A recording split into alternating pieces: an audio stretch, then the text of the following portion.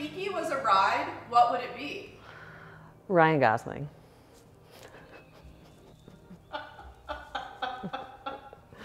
Okay. Without a doubt.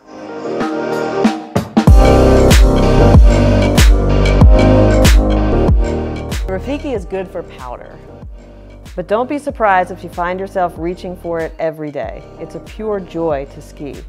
The Rafiki has dual radius side cuts, shorter in the front, making turn initiation quick, and longer in the back, making it more stable through your turn. It's wide underfoot, floats on that powder. Hello?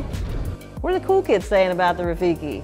If you're looking for an inbounds powder ski or a backcountry ski, this will be great no matter what you take it on.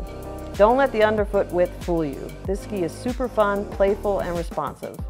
Of course it floats well in powder, but it is amazingly fun in all other conditions.